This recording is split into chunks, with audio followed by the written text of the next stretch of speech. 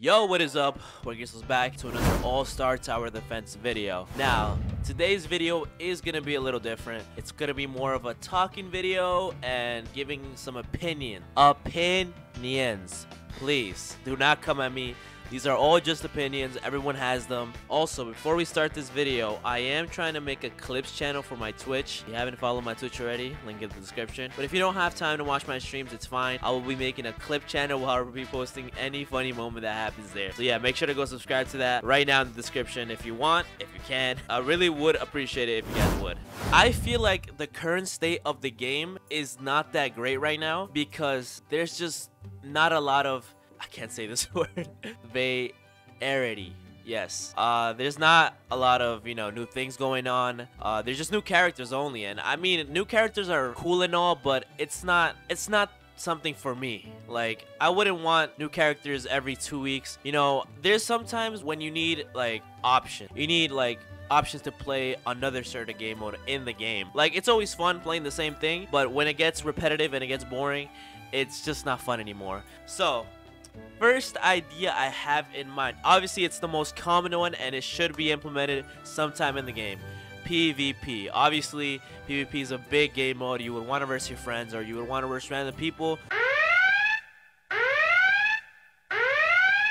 Madao, the developer himself, or I, I don't know, there's a bunch of developers anyways, he has just confirmed at uh 12 16 a.m right now. Pvp is confirmed. So um i did did a whole segment on pvp and why it should be added but he confirmed himself that it is confirmed now in the game for this wednesday. So stay hyped for that my boys.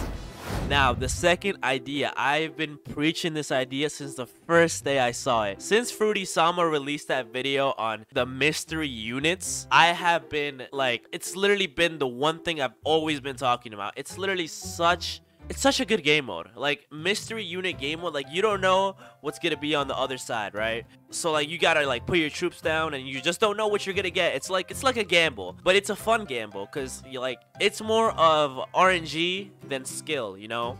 And also you can try out new troops that you probably never had. Like this is mostly good for new players as well because if they don't have all the troops and they don't know what's good or not and people don't want to help them out because there's a lot of stingy people in uh, all-star tower defense that don't like helping out other people. They just like you know doing their own stuff. This could be a good way to show which troops are good which troops are bad and it can help out a lot of people. And i feel like if all-star tower defense wants new people to join their game this would be a perfect game mode for all the new players or lower rated players. I hate saying noob. It's such a it's such a well, it's not a vulgar word, but it's like really.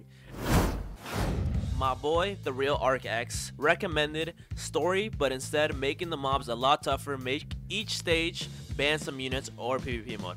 Now, the first part of this, I think I'm getting at what he's trying to say. So I'm guessing he maybe wants like like difficulties in story mode like because every story mode like doesn't have difficulties it just goes by you know the easiest setting it is. I don't know. Yeah, maybe adding difficulties to story mode for people could be the best thing. Maybe if you do a more difficult one, you get more unit. Maybe if you do a more easier one, you get less, obviously. But yeah, I think that's what he's trying to say. And that could be a cool addition to All-Stars, honestly.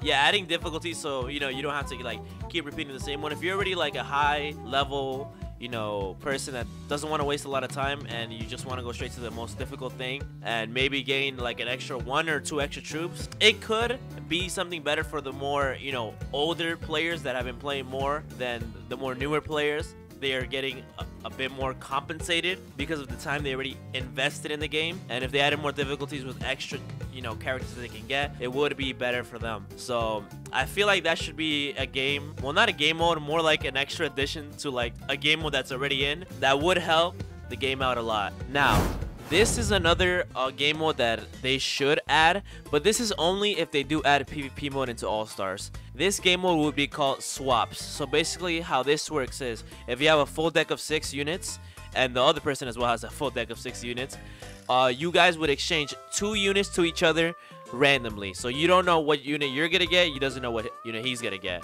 So you can risk yourself by getting by putting yourself bad units into your squad, but you also have the risk of if you don't get to swap your bad units, you're gonna have the bad units and he's gonna get your good units. So basically that's how it's gonna work. Um, this isn't really a game mode, but I feel like it should be like something that should be implemented somewhere near this future for All-Star Tower Defense. If they add traps, uh, it's again something from Balloon Tower Defense. Like, like you know how they have those spiky things? Like those things should be like shurikens, like the like Naruto shurikens, or I don't know, like traps from anime, anime-based traps, basically. So you know, whatever they come up with, or whatever you guys come up with for traps, you guys can let them know, and they could definitely implement it. I don't, I feel like could it be possible? Honestly it could be possible as well. It could definitely be because you know you'll have that all that extra money that you have in infinite you know you have a lot of extra money right after you finish placing. Depends who you have in your in your team of six. But if you have like a bunch of extra money right after you place all your troops down you could like put some traps. As well traps will not be what's it called obtainable uh just like that um you could definitely spin for them or better traps for like good traps or meta traps you know stuff like that it could be a, definitely a new addition to the summons as well and could have more people you know have more of I can't say this word variety of more things, you know, to get in summons, even though some people are already struggling just getting five stars. But, you know, having this extra you know, bit of um, summons could have more effect, you know, because they'll be like, oh, there's a lot of, there's a bunch of stuff I could collect, you know, it would, it would intrigue people more as well.